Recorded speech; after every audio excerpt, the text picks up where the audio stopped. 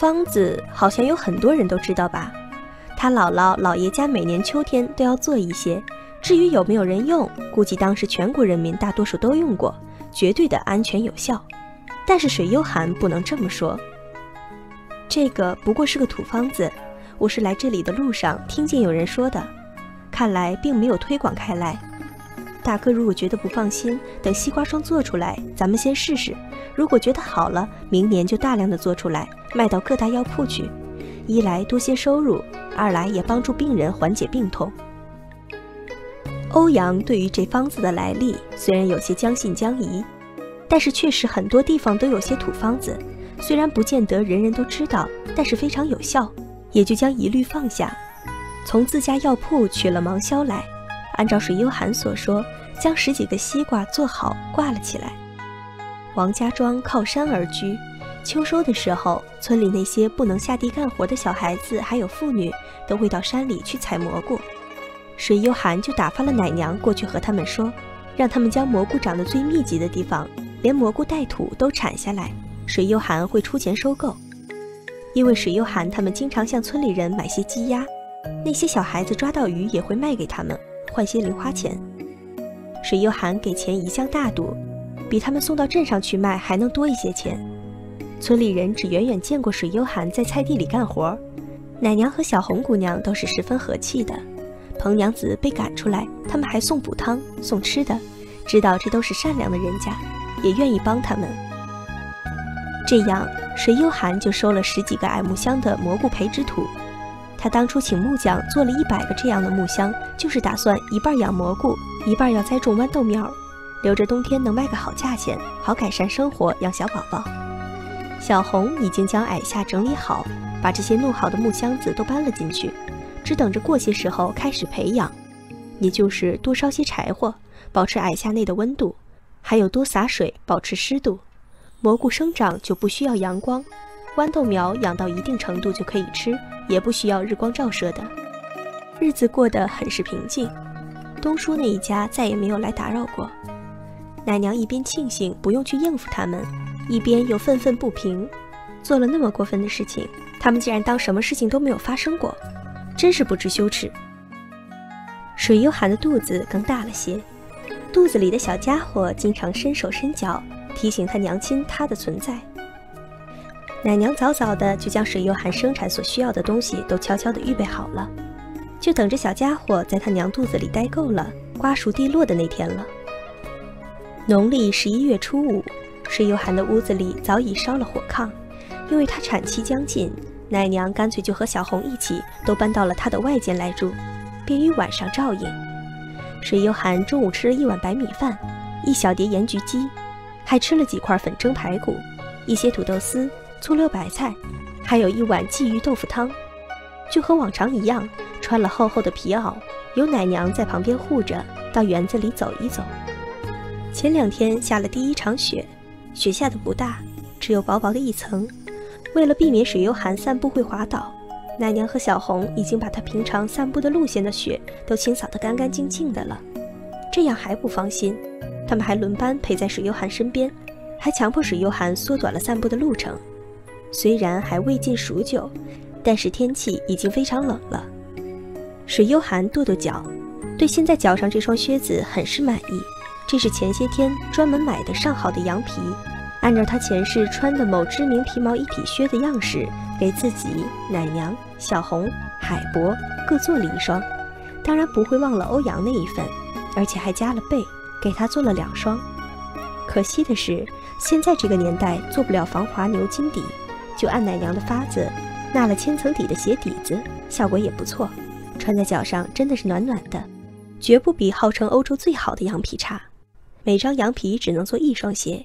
当然还会有些边角料下来，水幽寒不想浪费，都拼了起来，又做了几双软底拖鞋，不方便外出散步的时候，就在屋子里只穿了拖鞋来来回回走上那么几圈。散步归来，水幽寒又去矮下，看了看蘑菇和豌豆苗的长势。多亏了小红，一溜火炕，火炕烧得足，水也烧得足，蘑菇和豌豆苗长得都很好，再过几天就可以卖上第一茬了。水幽寒已经和欧阳商量过，镇上只有一家大的酒楼，其他富户也不多。这些蘑菇和豌豆苗还需要卖到积水城去才行。水幽寒他们不方便，欧阳打算让自己的管事去帮他们到城里去卖菜。水幽寒这时才知道，原来欧阳在积水城也有产业，或者更应该说，他家的主要产业在积水城。除了一幢大宅之外，还有很多有名的寄生堂、药铺和几个杂货铺子。镇上这边是他母亲留给他的，有宅子、药铺，还有田地。刚从矮下出来，小红领着欧阳来给水幽寒诊脉，一切都好，估计再有大约十天才是产期。诊完脉，欧阳照例在水幽寒里吃茶闲聊。欧阳大哥，你看我们这个法子还好吧？再过几天，咱们就能吃上新鲜的蘑菇和豌豆苗了。嗯，确实不错。一开始你给我看那个暖房，我还不相信真的会种出菜来。现在我是不得不信了，难为你怎么想出这个法子。不过是敢想敢做罢了，开始也并不肯定能种得出来，只是拿出来试一试，没想到竟然成了，是我们运气好。你呀，总有些奇思妙想。那个西瓜霜我试过了，果然很有效。照你说的，一部分做成了散剂，另一部分做成了药片儿，我留了些给你，其他的我都拿到药铺去了。半个月前，吉水城一个富商的儿子得了喉痛，小孩子太小，又娇美的厉害，怎么都不肯吃药，病越拖越严重。我家铺子的坐堂大夫知道了，就亲自登门，把这西瓜霜含片送了过去，让那小公子含服。那个小公子喜欢含片的味道，竟然像糖块一样，用了之后果然有效。这下子传扬开来，都知道我这药铺有这样的好东西，买的人可多了。那就恭喜欧阳大哥了，该是同喜。说着，从袋子里拿出一包银子，这是卖药的钱，还有些等卖完了一起拿给你。沈幽寒看见那包银子足有一百多两，忙推辞：“大哥这是做什么？这药材是大哥出的，药也是大哥做出来的，我不过是说了个方子，也是大哥自己验证出来才可用的。药钱应该大哥自己收起来。”不用给我，那怎么行？欧阳正色道：“方子是小韩你的，西瓜也是小韩你出的，我不过是出了些力，怎么能拿银子？小韩，你能把方子拿出来，已经做了件大好事儿，这钱自然该是你收着。”水幽寒低头想了想，对欧阳说：“大哥，你看这样好不好？现在这个西瓜霜很受欢迎，大哥以后不如就专门派些人手来做这个。”冠上大哥药铺的招牌，以后就是大哥家的成药。大哥不肯让我吃亏，那能不能让我拿这个方子入股？以后卖西瓜霜的利钱，大哥分我两成，十年为期。十年后方子就完全归大哥所有，不必再付我任何利钱。欧阳听水幽寒这样说，沉思片刻。小寒，这样也可以，不过你只要两成利，这样太吃亏，我再给你加上。水幽寒抬手打断他的话：“大哥，你待我已成，我也不能欺瞒大哥。这个方子实在算不上有多玄妙，很容易被人仿制。大哥若想长久不被人抄袭，就要花大力气保密配方，而且要让更多的人，全大洲的人，甚至其他国家的人，都认寄生堂出这个西瓜霜，也需要大量人力财力。以后也许还需要改进配方，更不要提平日经营的开销。”我开口要两成，十年也许还要得多了。实在是我并不知道大哥这些成本要花多少钱，大哥应该和属下的掌柜先好好核算，再减掉些也无妨。不必再核算了，就按小韩你说的办吧。欧阳拍了板儿。大哥，以你待我的恩情，一个方子罢了，我本不该和大哥分利的，只是我有这一大家子人要养活，大哥你不怪我吧？水幽寒悠悠地说：“怎么会？小寒，你对此事能如此爽快，不扭捏，反倒让大哥高兴。我明天就让人写出契约书来，我们签字画押，这件事儿就定下来了。以后小韩只管按季度分红就是。”水幽寒欣喜万分，以后十年无需侯府的接济，自己这一家人也能够吃饱穿暖了。欧阳振一真的可以称得上是君子。不挟恩图报，做事一板一眼，诚实可信。这些钱，小韩你还是先收起来吧，留作急用。好吧，这些钱就在我的红利中扣除好了。水幽寒也不和欧阳客气了，只怕他很快就需要用钱了。水幽寒把钱交到奶娘手上，让她放起来。水幽寒和欧阳这一番谈话，奶娘都在旁边听得清楚。看见自家姑娘就这样赚到了一笔钱，而且是以后十年都有稳定收入，又是高兴又是诧异。已经愣在一边了，听水幽寒叫他，才醒过神来，把钱收了起来。水幽寒这时又想起一件事儿来，就和欧阳商量：“大哥，你估计我这些蘑菇和豌豆苗能不能卖得好？”欧阳点了点头：“这些东西在小地方只怕没有人有能力买，但是到了富庶的大城镇，那里一定很受欢迎，那些大酒楼、官宦、富商都会争相购买。”这个小韩你就放心吧，只怕你那些还不够卖的。我家的管事对济水城非常熟悉，已经和几家酒楼讲好了，过两天就来这里把菜送走，你就等着赚上一笔吧。那自然是好的。我在想，如果有很多人买，那以后我就把这个法子告诉这王家村的乡亲，让他们也能多赚点钱。靠着田里那点出产，他们的日子过得还是紧巴巴的。欧阳看了水幽寒。好半天没挪开眼，肚子里的小家伙似乎翻了个跟头，水幽寒痛得哎呦一声，忍不住笑：“哼，这淘气的小家伙，一定是听到有钱赚，以后不愁养活他，他这是高兴了，直翻跟头呢。”欧阳和奶娘都忍不住跟着笑。孩子精神头足是好事儿，我看呐，一定是个白白胖胖的小公子。奶娘很肯定。水幽寒笑了一会儿，就再也笑不出来了。这次的疼不同以往，一下子就过去了。这一次是一阵儿接着一阵儿，水幽寒扶着肚子，汗都下来了。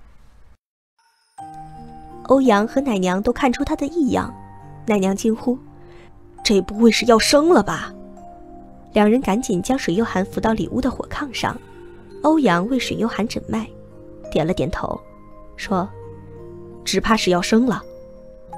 两人又帮水幽寒检查了一下，确定是要生了，不过产道还未开，估计要等到夜里才能生下来。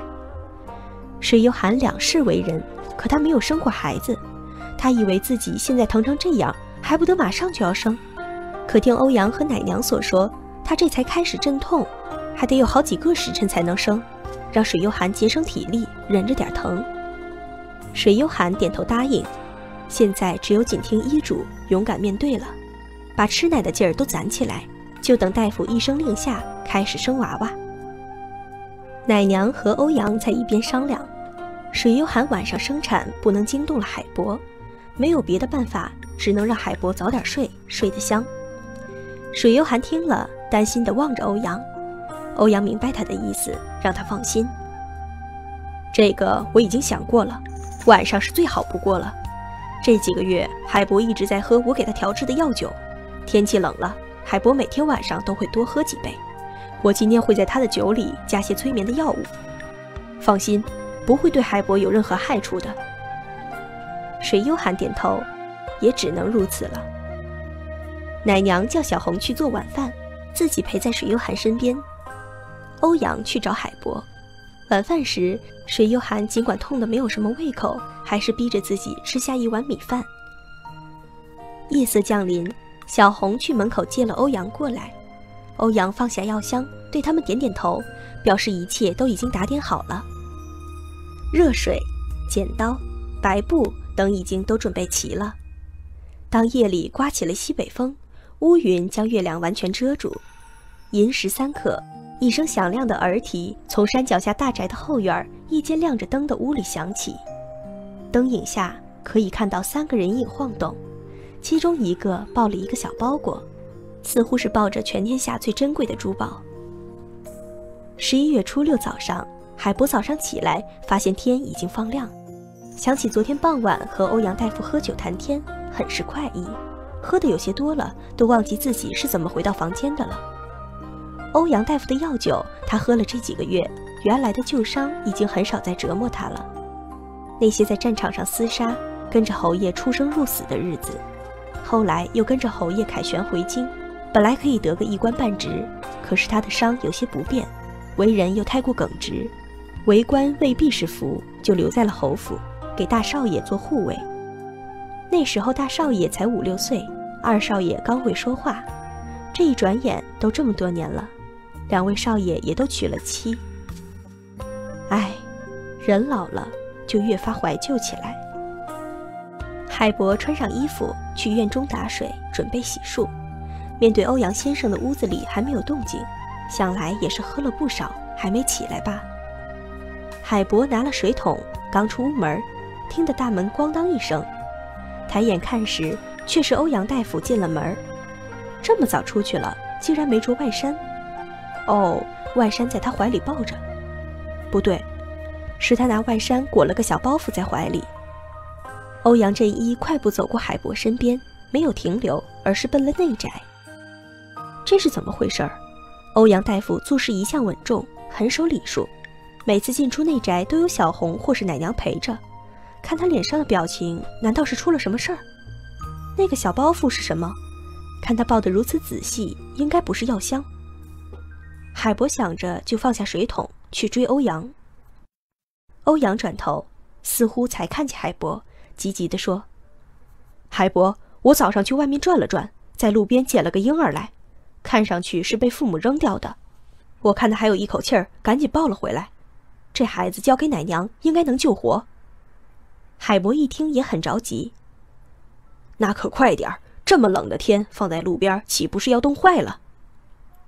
就是就是，我们大男人不会照料孩子，只有交给奶娘了。说着，两人一前一后，已经来到了内院门口。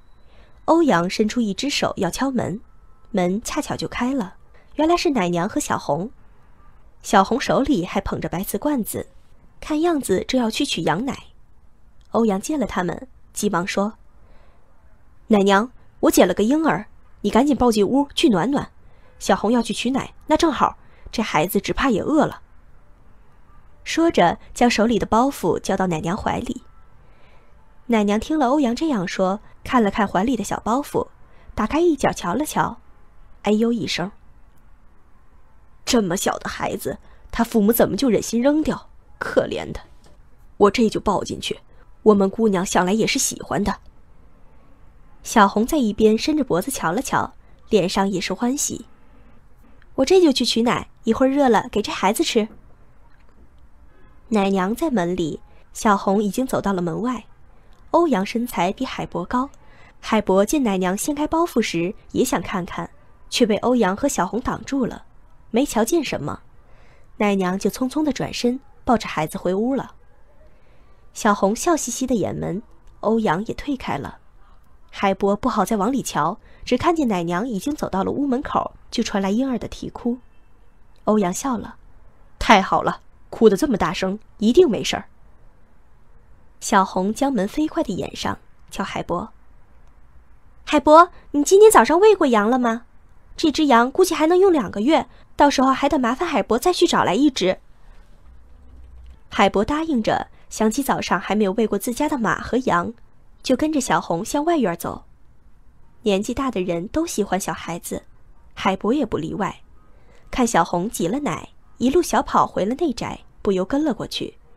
小红一进内宅就把门关上了，海博也不好跟进去，就拿着扫把在内宅外打扫，两只耳朵都支棱起来，听院内的动静。那婴孩似乎很安静，只哭了两三声就没了动静。